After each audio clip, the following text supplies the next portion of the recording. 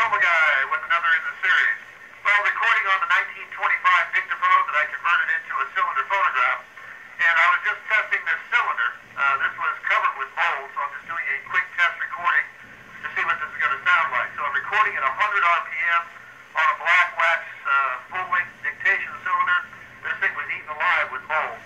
Anyway, I just wanted to uh, let everyone know that I'm going to be at the Wayne, New Jersey Phonograph Show next week a discipline. Uh, we're branching off into disc recordings, so I found a uh, record lathe in New York. We're going to be picking that up. We're going to be stopping at the phonograph show for a few hours. I've never been to the Wayne, New Jersey show. I've heard a lot about it, but I've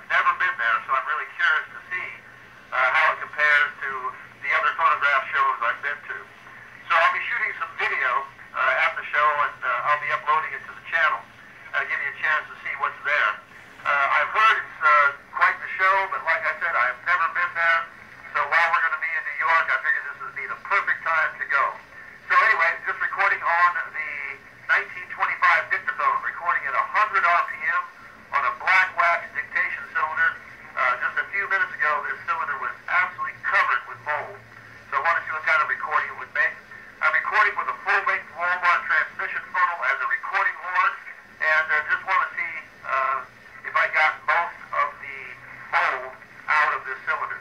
So as always, if you have any questions, feel free to drop me an email, the guy at gmail.com.